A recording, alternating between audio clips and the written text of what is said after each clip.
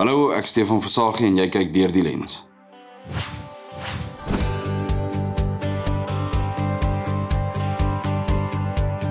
Maar ek is 'n uh, gebore Wes-Transvaaler, so 'n bietjie deurgetrek deur die land, Lichtenburg en Bethal en Pretoria en Pietersburg. Op die ou en in my laaste skooljare op uh, in Pretoria gedoen. En ek het 'n ek's 'n kunstenaar en 'n kredietbestuurder gewees en ek ek skilder nog steeds vir 'n vir op my stokperdjies en verkoopskilderye langs die pad, maar die laaste 4 jaar of so sing ek voltyds ook. Ehm um, nou my debuutalbum opgeneem so 2 en 'n half jaar by Christelstein 2 en 'n half jaar terug. En hy's nou heruitgereik met nuwe musiek op. Uh so ja, ek sal sê ek is nou 'n sanger in volbloed met 'n liedjie skrywer ding daar ingegooi.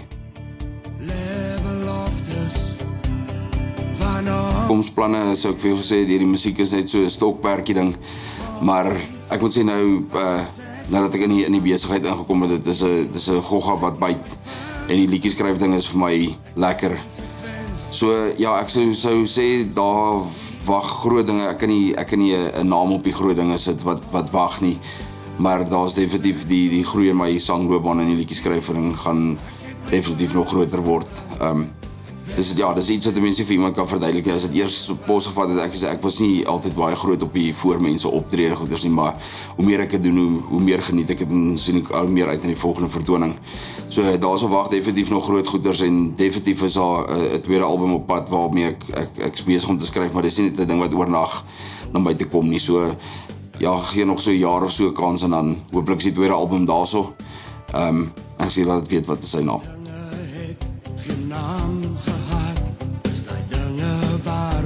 Die for keeps liedjie ehm um, het ek so uh, 2 jaar terug was ek 'n uh, finalis by ATKV se liedjie skryf kompetisie. Uh ons is die top 10 wat gekies is vir van inskrywings af en ons het vir 'n week lange kursus gegaan uh na Goudini Spa toe.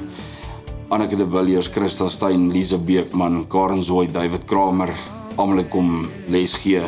Ons geleer hoe om liedjies te skryf uh op die spesifieke ehm um, kursus het ek vir keeps geskryf ons moes dit aan die einde van die 4 dae, 5 dae moes ons dit uh, ons ons liedjie voordra aan die die woeso van ATKV en in die omtrek en alhoewel ek nie die die die kompetisie noodwendig gewen het daarso nie was daar definitief mense wat gesê dit is die die liedjie van die aand.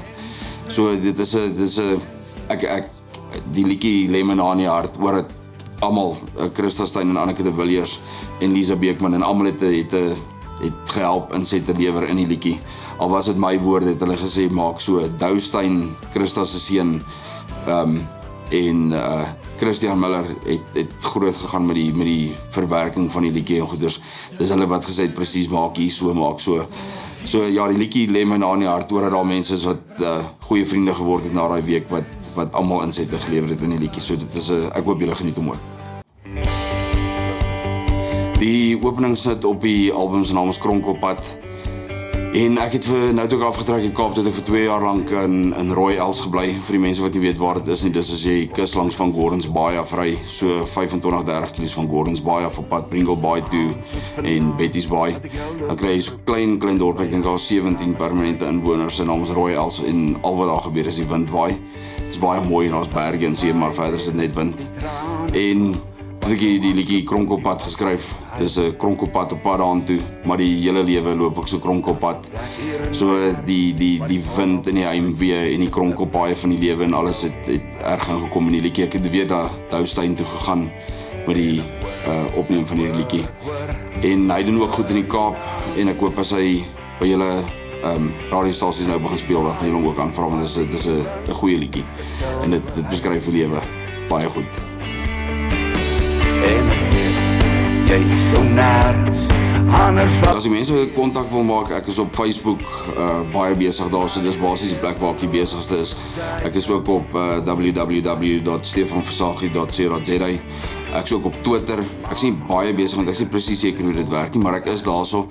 Ehm um, mense kan my agent bel. Haar naam is Ida Jordaan. Haar nommer is 082 662 4112. Ehm um, of stuur 'n e-mail na ida@stefanversagie.co.za. Ek sal op 'n of ander manier sal julle by my kom. Baie dankie dat julle na my gekyk het op die Lens. My naam is Stefan Versagie. Hoop ek sien julle by my volgende show en gaan luister na die album. Dankie. Stil heim